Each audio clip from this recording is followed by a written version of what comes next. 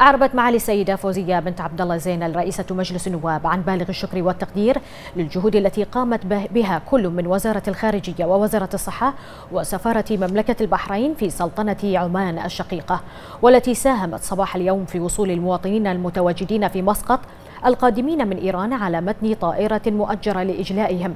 وذلك بعد التنسيق مع الأشقاء في سلطنة عمان وتداركا للموقف الذي أثر سلبا على سلامة هؤلاء المواطنين والذي يتحمل مسؤوليته كل من له شأن بالرحلة الجوية غير المباشرة التي تمت يوم أمس من خلال عدة مطارات بإيران ومطار الدوحة ودون إخطار مسبق أو أي اعتبار للإجراءات الاحترازية والتدابير الوقائية المتخذة لضمان صحة وسلامة المسافرين وطواقم الطائرات كافة.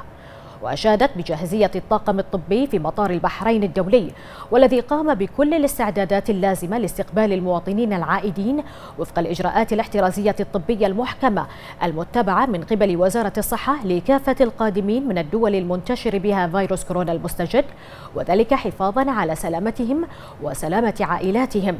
وكذلك المواطنين والمقيمين. وقالت إن مملكة البحرين وبقيادة حضرة صاحب الجلالة الملك حمد بن عيسى آل خليفة عاهل البلاد المفدى حفظه الله ورعاه قادرة دائما على تجاوز التحديات وأنها واثقة كل الثقة في مدى وعي المجتمع البحريني وحرصه على دعم جهود المملكة لحفظ سلامة وصحة الجميع. وأكدت أن مجلس النواب يولي اهتماما بالغا بسلامة جميع المواطنين والمقيمين. ودعت معاليها الحكومة الموقرة لإطلاع مجلس النواب على خطة إجلاء المواطنين المتواجدين في الخارج ومستجداتها.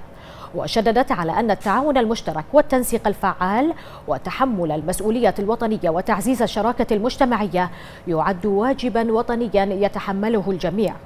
وشددت رئيسة مجلس النواب بضرورة التزام كافة المسافرين بالإجراءات الاحترازية حفاظا على سلامتهم وصحة وسلامة المواطنين والمقيمين بمملكة البحرين. وأهمية التنسيق المسبق مع الجهات المعنية بمملكة البحرين لضمان, لضمان إتمام جميع الإجراءات بيسر مع المحافظة على سلامتهم وصحتهم.